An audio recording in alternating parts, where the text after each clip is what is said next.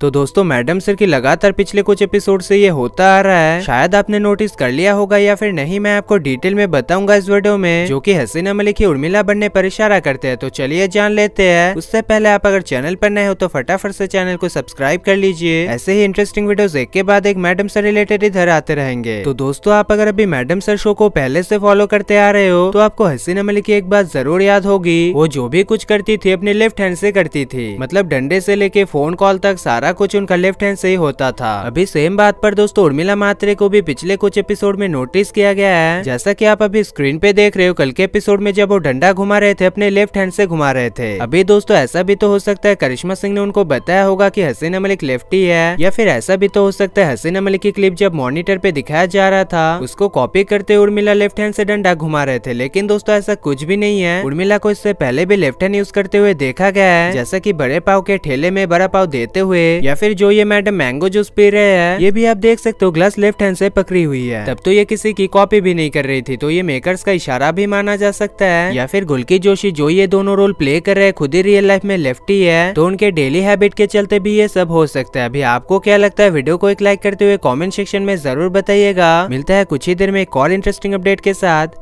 bye